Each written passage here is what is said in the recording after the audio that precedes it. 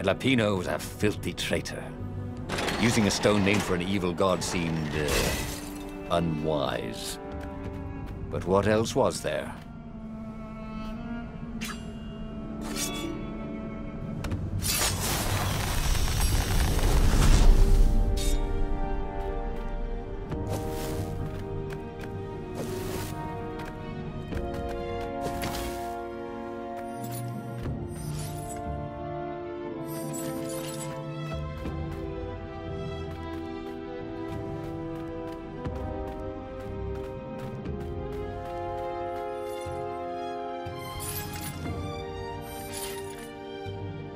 Thank you.